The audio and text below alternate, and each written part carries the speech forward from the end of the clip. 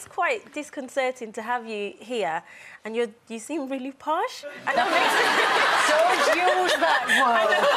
What you mean is she's well spoken and she hasn't got a Brummie accent. the accent. I'm, I'm expecting Pat Butcher, and I know that's wrong of me, but it's just, yeah, it's, I'm, I'm finding it a little bit strange. Like, oh, Well, I'll where's go away then. Not at all. You know earrings because they did become so iconic as part of your hmm. character. Did you find that you had a lot of people then sending you earrings? Oh, yes, all the time people sent in earrings. Brilliant. They say, oh, I found these in Walthamstow Market. it was wonderful.